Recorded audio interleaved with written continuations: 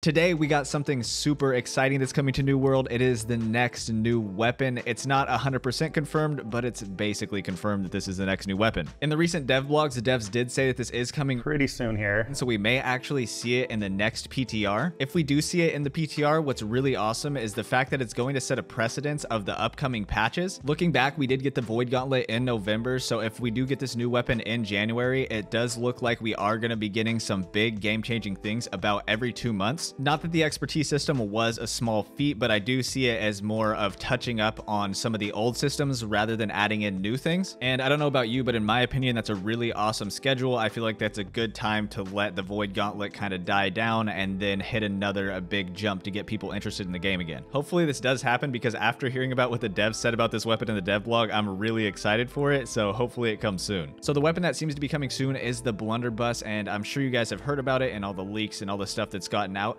but if you don't know what a blunderbuss is, is it's basically a shotgun. In the real world, it can come in both a rifle and a pistol form, so we're not sure exactly which version of that we're going to see. It is possible that the female pirates are using blunderbusses as their pistols, but we have heard through the grapevine that pistols are coming to New World as well. So I'm assuming if they do have pistols and the blunderbuss, that the blunderbuss is going to come in the rifle form. So I wrote down some of the quotes that the devs brought up, and I do want to break it down to try to get a grasp on how this weapon's actually going to play. So they talked about the blunderbuss versus the musket, which I think is another hint that the blunderbuss is going to be coming in rifle form. And what they said is the blunderbuss is more exciting, more explosive, more chaotic. It has navigational tools and it's more of a run and gun style. So in that quote alone, there's a lot of stuff to break down. So comparing it to the musket, the musket is very much a weapon that you sit back, you take aim, and you kind of poke people down from a long range. They already cleared up that the blunderbuss is not going to be like that. They said it's going to be like short to mid range. And they also said that it is going to be a run and gun style. So considering that the blunderbuss blunderbuss is basically a shotgun, it's going to be much more of an in-your-face playstyle, even though it is a ranged weapon. So when he said more explosions, what immediately came to my mind is that it's going to have a good bit of AoE attacks. Again, it is a shotgun, so it's probably going to have a spread to how it fires. But I think on top of that spread, we're also going to get abilities that are meant to hit multiple targets. When I think of stuff like this, I think of things like Splinter Shot from the bow, or possibly even Rain of Arrows. I do think that this weapon is going to play a lot more like the bow than it is the musket, but I do think it's going to be shorter range than the bow. That's because I think that the bow and the blunderbuss are going to form different slots as far as range. So if you want to play a short ranged weapon, you'd go with the blunderbuss, and if you want to go more medium to long range, you can go with the bow. However, I do think we're going to see a pretty similar playstyle between the blunderbuss and the bow because when they said navigational tools, what I thought about was that it's going to be something like evade shot off the bow or just evade from the rapier. That would play into the run and gun style like they were talking about. You're going to be up in somebody's face and you're going to be dodging their attacks and slightly kiting them since I do think it is going to be a shorter range weapon. So I think this weapon is going to play kind of like a hybrid of the rapier and the bow and just have a high mobility, high burst output. And I think it's going to be, it seems like it's going to be a lot of fun. I love weapons like that. Another big thing that they did say was that it's going to pair well with some melee weapons and possibly some staffs. And then they went on to make a joke about that being a hint at what the weapon scales with. So when they say possibly staffs, I mean, there's only two they can talk about. It's either the fire staff or the life staff. And that means that it's possibly going to scale with intelligence or focus. But as a general rule that they were saying that they wanted to do when they added in new weapons is that they wanted to fill in gaps. An example that they gave was that the life staff didn't have any clear pairings as far as attributes go. So when they added in the Void Gauntlet, they made it scale with focus so that way it fit more with the life staff. So thinking about all that information with the blunderbuss is that we don't have anything that really goes with strength and intelligence or dexterity and focus. Personally, I don't really see the logic in it pairing with strength weapons unless maybe you have some sort of melee attacks you can do with it. So with that in mind, I'm thinking it's either going to be dexterity and intelligence just like the musket is or dexterity and focus because that's going to fit into the filling the gap narrative that they've been telling. But similarly to how the Void Gauntlet has Oblivion, which does an area of effect debuff, maybe we can have some things that are area of effect buffs for your teammates. So if they add that, I could see it logically making sense with focus. But personally, I would love another dexterity intelligence weapon because I just love dexterity and intelligence. If you want to be prepared for when this weapon comes out and make sure that you don't have any other expertise to focus on, be sure to check out this video here to let you up your expertise faster. Let me know what you think about the blunderbuss and don't forget to drop a like if you enjoyed. My name is Marcus and thanks for watching.